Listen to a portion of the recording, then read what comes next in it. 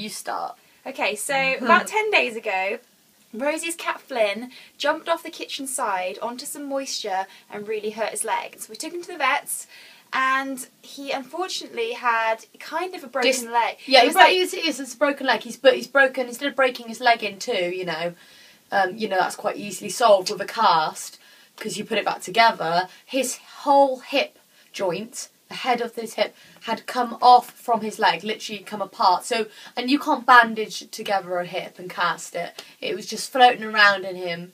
Making him really, really ill, and you know, obviously, him walking was like ridiculously painful. Yeah, but the thing is, it was kind of weird because he wasn't actually screaming, or he No. was just he was still into his food. He's such a good baby that he he didn't whine that much, so we didn't know how serious it was. But Rose was like, "We got to take him to the vet," so we took him to the vet. and they were like, he needs a major operation. Yeah, and, And I was like, a leg transplant? And they're like, no, we don't do that. And I was like, that's ridiculous. So they said, instead of a leg transplant, we will just fix his knee. And I said, conventional. Um, if you want to get technical, okay, you're not the vet. Okay? you are not the vet. and they said, it's going to be a thousand pounds. That has three zeros after the one. yeah, and um, I was like, "Can I pay in direct debit because I'm a student? I have zero money anyway." Plus my like And they were like- plus my minus two thousand seven hundred and fifty five.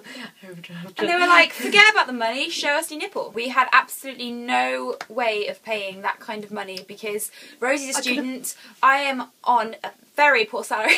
And someone messaged me. I think it was actually a lady called Julie. Was definitely one of the first people to message me, but it was more than one person actually. Messaged me on Twitter and said, "Where do I write the check to? If you get the button, I will donate."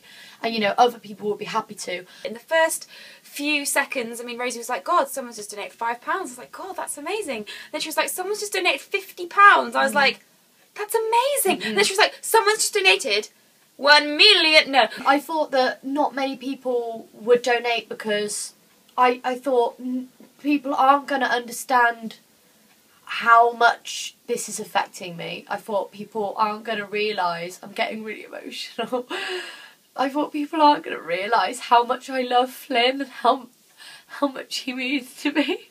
Sorry. get your shit That together. was me. I love you.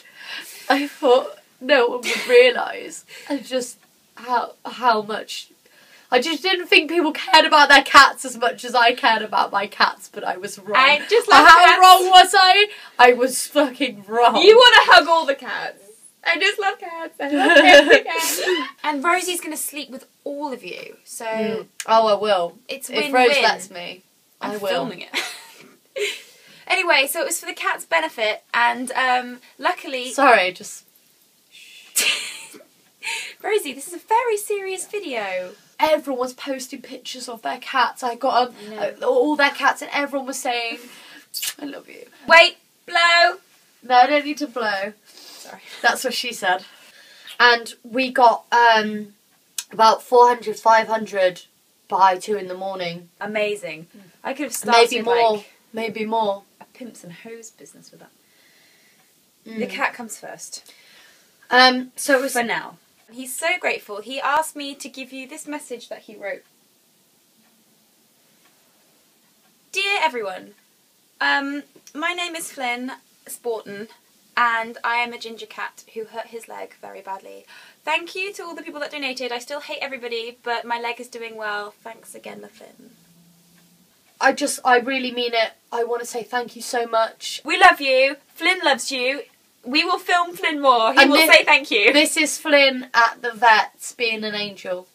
You're purring. People have donated for you. You've now got a college fund. Oh, shh. oh, oh, oh, good boy. Good Oh, boy. God. It's alright, don't Oh, worry. God. It's really shocked me. I know, but it's in fashion. Flynn, you've got to keep it on.